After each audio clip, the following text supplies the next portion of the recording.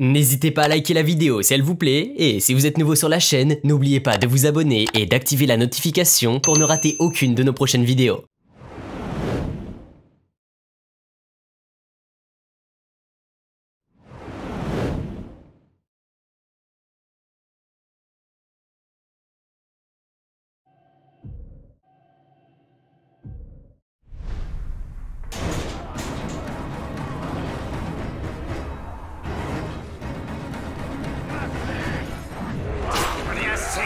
J'arrête de chercher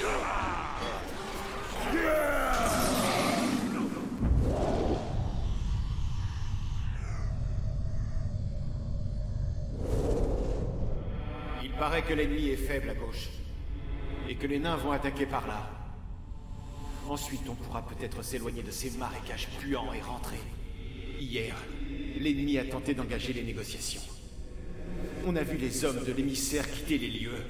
Un être noir terrible sur un cheval noir, escorté par deux colosses, eux aussi vêtus de noir. Ils ne pouvaient pas faire partie de notre troupe, parce qu'on les soupçonnait de vouloir espionner notre organisation pour en faire un rapport à leur maître. À la place, un petit groupe d'elfes et d'hommes sont allés le rencontrer. On n'a pas entendu ce qu'ils se sont dit, mais la paix n'arrivera pas. Les rumeurs circulent dans le camp.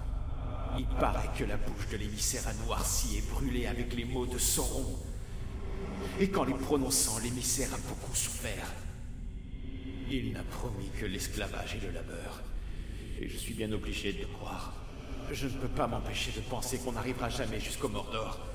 Seule la mort nous y attend. Cette vidéo vous a plu?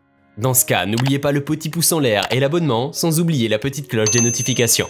Avec Jaminju Channel, vous aurez des vidéos de qualité à vous mettre sous la dent. Quant à moi, j'ai hâte de vous retrouver dans une future vidéo. À la prochaine